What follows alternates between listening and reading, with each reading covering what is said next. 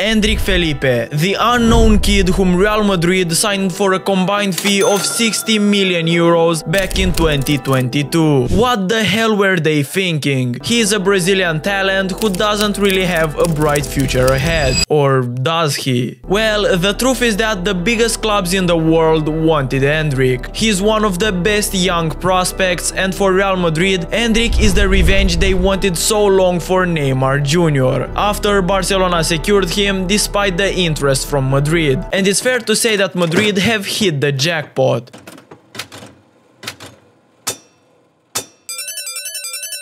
To really give you an idea of how good this kid is, Palmeiras wanted him to sign a professional contract because he was amazing, but he was too young to do it, aged just 15. His technical and physical ability is something Brazil have never seen, not even with Neymar. I won't be surprised if he becomes one of the best footballers in the world in a few years. And of course the comparisons are already here, especially after he started saying that his hero and idol is Cristiano Ronaldo and that he wants to be like him. So, can he be as good as Cristiano Ronaldo or even better? To answer that question, we have to go all the way back to 2006. That's when Endrick was born, in Brasilia, Brazil. And as you might have expected, he started playing football from a very young age, at 4 years old to be exact and his father was the one to introduce him to this sport. He would take his son on the field and he encouraged Endrick to learn the beautiful game. His dad, Douglas Sousa, took Endrick to his games as he considered his son to be a lucky charm. And so Endrick's passion for football grew day by day. He continued practicing with his father, until one day his dad decided to record Endrick's impressive skills and upload them on YouTube. Thanks to his father's efforts, a football scout from Palmeiras noticed Endrick's talent, and so he offered Endrick the opportunity to sign for the club. He did it, of course, and he joined the youth team when he was only 11 years old. And in the next 5 years, this kid played like he had no other choice than to become the best in the world. In just 169 games, he scored 165 goals for the youth team of Palmeiras, which is mind-blowing. In 2022, Endrick participated in the Copa Sao Paulo de Futebol Junior, where he scored 8 goals in just 7 games and was voted player of the tournament because he led Palmeiras to their first title. Now keep in mind that he did this when he was only 16 years old. And I don't know about you guys, but when I was 16 I didn't know what to do with my life. I had no clue of what's going on.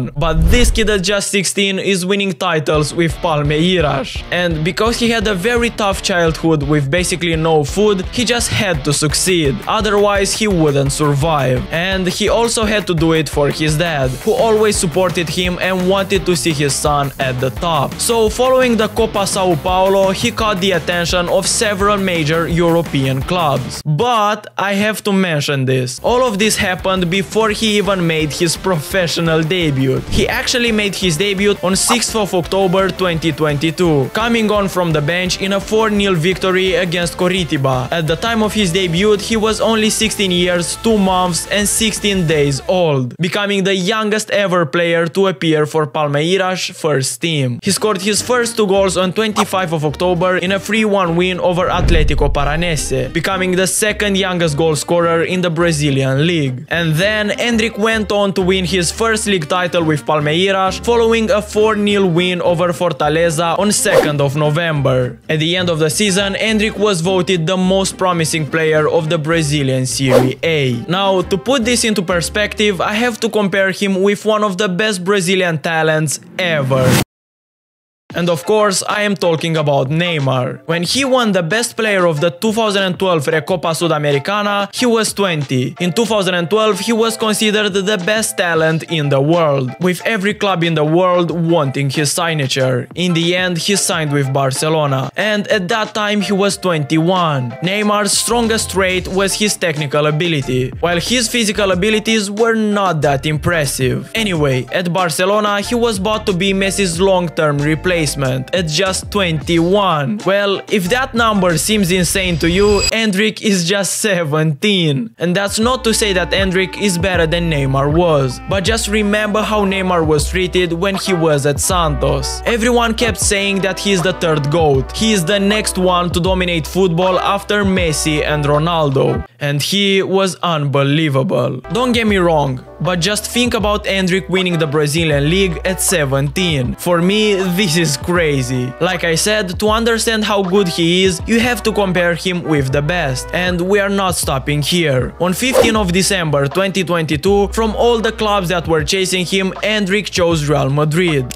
They reached an agreement that the player will join the club when he will turn 18 years old in July 2024. So basically this summer. The signing fee is still unknown, but the reported deal is worth around 60 million euros plus 12 million euros in taxes. So Endrick just signed with one of the biggest clubs in the world before he was even 18. Like I said, he is the Neymar Real Madrid always wanted. And to think about a lineup with Mbappe, Vinicius Jr. and Endrick up front is honestly scary. The only problem would be deciding who should actually start games, as Vinicius and Mbappe are known for their big egos. In addition to that, Mbappe stated that he doesn't like playing as a striker, which leaves only one logical position available for him left wing, where Vinicius Jr. is currently playing, but no manager in the world would bench Vinicius, so someone would have to make some sacrifices, which may leave Endrick on the bench for at least his first season at Real Madrid. But what about the remainder of his time at Palmeiras? On 11th of October 2023,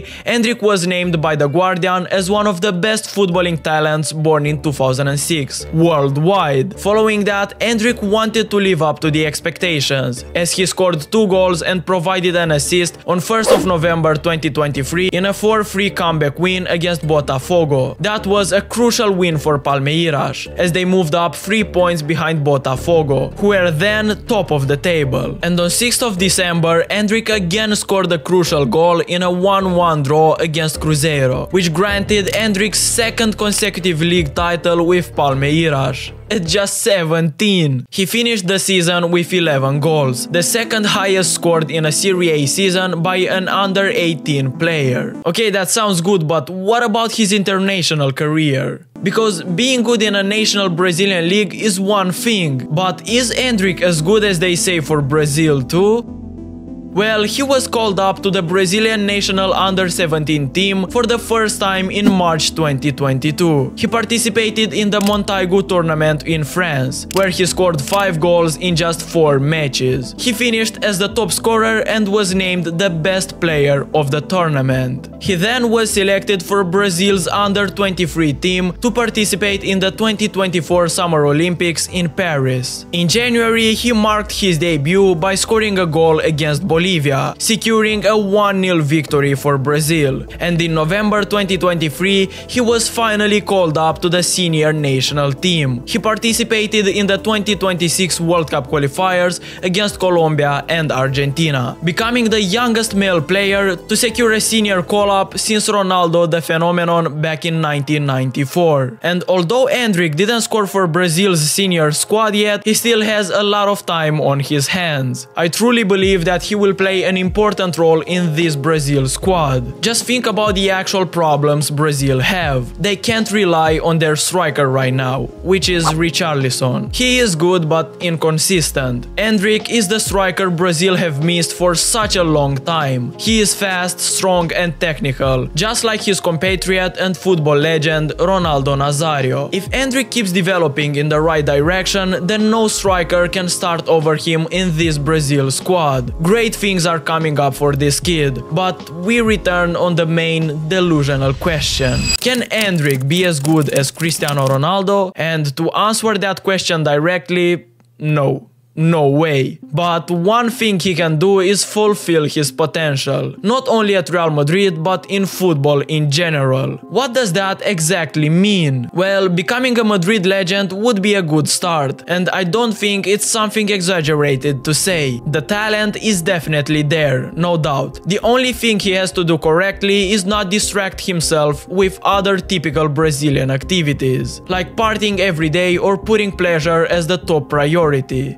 This unfortunately happened with Ronaldinho and Neymar, the two top Brazilian talents maybe of all time, and you can see where they are now well, not in a good place. And if Endrick can successfully make use of his strengths, then the Ballon d'Ors are waiting for him. In addition, at Real Madrid he has no competition at the striker role. That's only if Mbappe won't be forced to play there, which means that Endrick won't be put under pressure by competition. Still, the pressure will be there. Let me explain. Well, it's all because of expectations. Coming to Real Madrid is not easy for any player. Hazard is the perfect example of that. But when you're just a 17 year old with so much pressure on your shoulders, it might get to you no matter how mentally strong you are. He might go down as one of the best footballers to ever play for Real Madrid. Or he could just waste his career by going to such a historic club at that age. The ending only depends on Endrick saying that Endrick has a great future ahead of him. He is the biggest Brazilian talent since Neymar in 2012. At 18 he will be already playing for Real Madrid and his transfer coincides with Mbappe's arrival and probably even more ludicrous signings like Davies. Madrid are forming a Galacticos team in 2025, led by the incredible youngster Endrick. We might really see him win a Ballon d'Or or even two in the future. But what do you think? How far can Endrick actually go?